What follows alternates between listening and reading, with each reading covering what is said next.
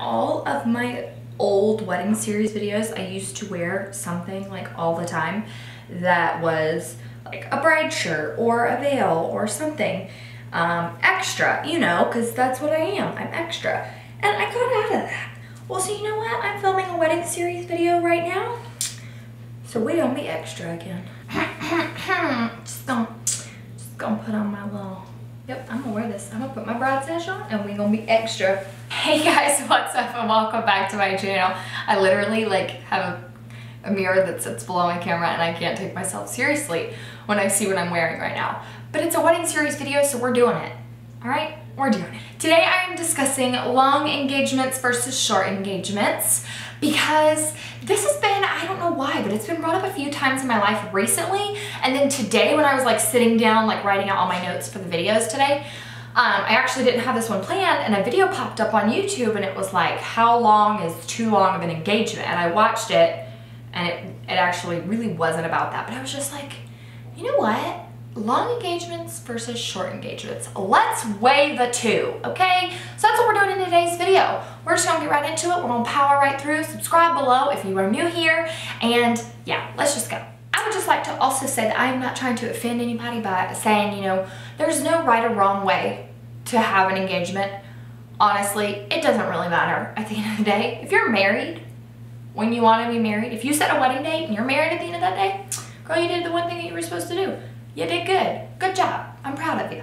But when I say short engagement in this video, I mean like zero to eight months. And when I say long engagement, I mean eight to like 16 to 18 months. That's my timeline when I say short and long. Um, I think that having an engagement that's like three to five years is crazy. Um, so I'm not even gonna just talk about that in this video. We're just gonna cover like the difference between short engagements versus long engagements. Okay? When I actually had sat down with my fiance and we had decided on a wedding date, August of 2017 we would get married. Um, he ended up asking me December 3rd, so before Christmas last year. So we kind of had our wedding date, wait, wedding wedding date set for August of 2017 and then I think we kind of looked at it and we were like, you know what? Maybe May 2018 is a better idea because he would be starting his senior year in August of like this past year, he started his senior year of college and in May he will graduate. So we were like, maybe he should just graduate first and then we'll get married. We're getting married six days after he graduates. And so just kind of worked out in our way. So we will have been engaged for 16 months, I believe, by the time we say I do. And people are forever like, oh my God, that is just so long. Why? Are you like not ready to get married? Girl, I literally have been ready to marry him. Like, since the moment he told me he loved me, I was like, okay, I love you too, let's get married. Like, I've been ready to marry him forever, okay? With wedding planning, the way it goes is when you book your vendors, they all require deposits. And then as the wedding day approaches, they require that final amount of money. Being that I like picked all of my vendors or almost all of my vendors in January of this year and I'm not getting married until next May, all of the deposits were due in January and we have until next May to get all of that paid off. So you have so much more time to like get the money and finances together if you have a long engagement. This is especially important if you're paying for the wedding yourself or if you want to have maybe a more extravagant wedding. Um, having a longer engagement is definitely better because the money is a little bit more stretched out. Everything isn't happening all at one time and so you can easily you know, have that year and a half to get everything together. Now, of course, to some people that doesn't matter. Um, I know for me, that wasn't a big thing in why I picked our wedding date. Again, like I told you, we wanted to get married in August, but Sam was starting college and we really wanted to wait until after he graduated. And it just so happened to be a perk of having that long engagement that our money wasn't all having to be like spent in this like six month period of time, we had that whole, all of 2017 and then the first five months of 2018 to pay for the wedding. And I say we, I mean my parents since they're paying for it. Thanks mom and dad, by the way.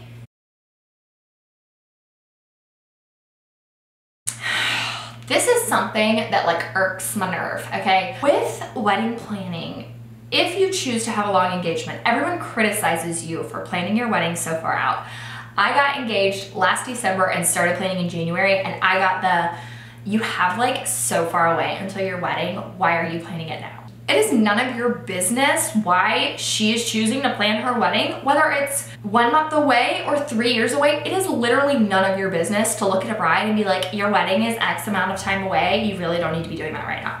Let her do whatever she wants to do, okay? And because I started planning my wedding so early, I actually got a huge selection of vendors. When I went in January to my venue, I was the third bride to look at that venue for that year. That was terrifying that it was January of 2017.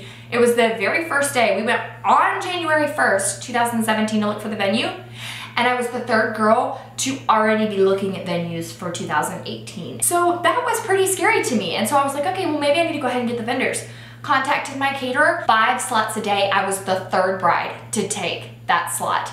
Um, you, I contacted the DJ. He already had two brides booked for May. Photographer. Everybody gets booked up so fast.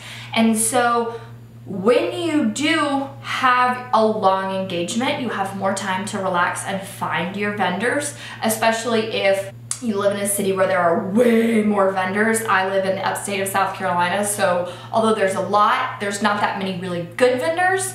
Um, so, you know, I kind of had a little struggle there, but if you have a long engagement, you have more time to kind of relax and find your vendors versus if you have a short engagement, you kind of have to, okay, I have four months until I get married. Um, this, you don't have that time, if that makes sense. Like I'm kind of rambling. You don't have that time to sit around and try out different vendors. You really have to just go.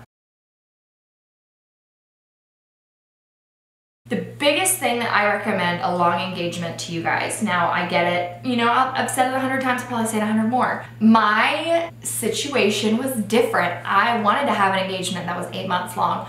I am so grateful now that I will have more than that because the little things have stayed little in wedding planning, it can be so easy to get caught up on like the very tiny things that don't matter. And because I've had 16 months to sit around and stew about it, or technically I've really only had a year, but I'll have 16 months total, uh, little things stay little things. Oh, the rehearsal can't happen at the exact time I wanted it to. It mattered at first, it doesn't anymore. Little things like, oh, the bridesmaid's dress came in incorrectly, which did happen.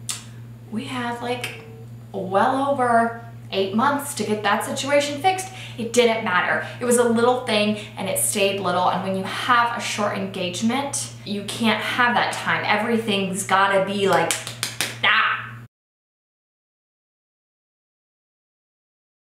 I have said this in like, I think it was like the first wedding planning series video that I ever made. This is a season of your life when you're not just a bride for one day. You're a bride the whole time that you're engaged. Everyone thinks you're only a bride one time. No, no, no, girlfriend. You're a bride the whole time you're a fiance. And for me, I'm gonna be a bride for a little bit of time. So it's okay with me that I have like five months until I get married because I'm a bride for five more months. And as stupid as that sounds, I get to be a bride now for 16 months total and that's just really cool.